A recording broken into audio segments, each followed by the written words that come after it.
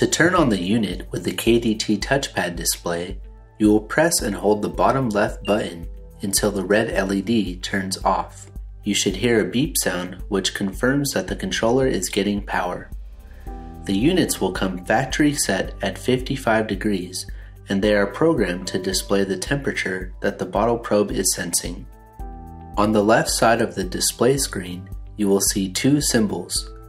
The blue snowflake symbol indicates the compressor is receiving power. The yellow fan symbol indicates the fans are receiving power. To unlock the display, you will press and hold any button for one second then release. You should see a white LED appear in the top left corner of the button being pressed and a beep will sound. The display must be unlocked before any button functions are available. You will have several seconds to navigate the controller. If the keypad is not responding, then you may have to go through the unlock process again. The Set button will get you into and out of any of the different parameters. The up and down arrows will navigate through the different parameters that are in that menu. To verify or change the set point, you will need to unlock your keypad, then press and release the set button.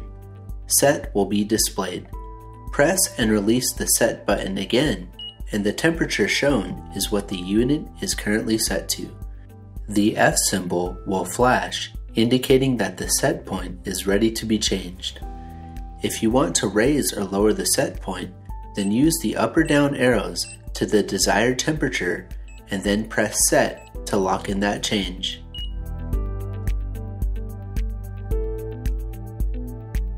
To navigate through the different folders on the main control display, you will need to unlock the keypad, then press the Set button. Use the up and down arrows to scroll through the ALR, PB1, or PB2 folders. At each folder, you will need to press and release the Set button to see the parameters of that folder. The ALR is the alarm folder.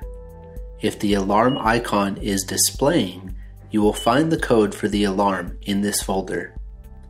The PB1 is the bottle probe temperature, and the PB2 is the evaporator coil temperature which we may use for troubleshooting purposes. Pressing the escape button returns you to the previous menu. To navigate through the user menu, you will need to unlock the keypad, then press and hold the set button for 3 to 5 seconds until the display changes and FDC will appear. FDC is for humidity enhancement. To access this folder with FDC on the display, press the Set button and release it. The factory setting is set to 1. Before making any changes to this parameter, it would be best to know what the humidity level is in your cellar. Increasing the setting will have the evaporator fan run after the unit has stopped cooling to allow the fan to blow some of the moisture on the coil to try to enhance the humidity in the cellar. If needed, you will want to raise the setting by increments of 5, but no more than 15 minutes, and you should wait a minimum of 3 days before making any other changes. This setting is only beneficial if there is still moisture on the coil. FOF is for the evaporator fan off. It is factory set at 15 and it is not recommended to change it. Using the FDC setting will accomplish having the fan run after the cooling cycle if needed. FON is for the evaporator fan on. This is factory set at 0. Using the FDC setting will accomplish the same result. CA1 is for the bottle probe calibration.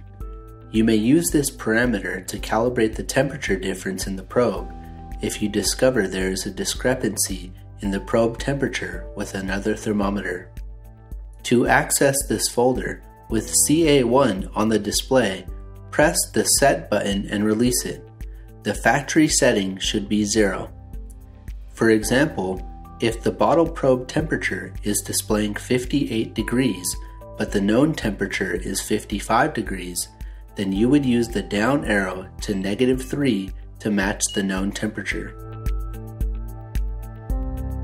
DOA is a setting that only applies to our ceiling mount and quantum units.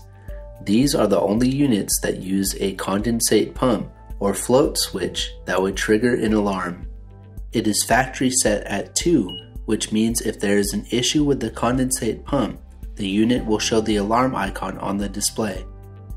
The unit will continue to run, which will allow the unit to keep cooling your cellar, but since there is an issue with the pump, the water in the drain pan could overflow into the cellar. If you would rather have the unit turn off and display the alarm icon, then you will need to press and release the set button with DOA on the display, then use the up and down arrow to display 5 and press set. Having that parameter set to anything other than 2 or 5 will prevent the unit from operating properly. We hope this video has been helpful in understanding the many functions of your KDT controller. Thank you for watching.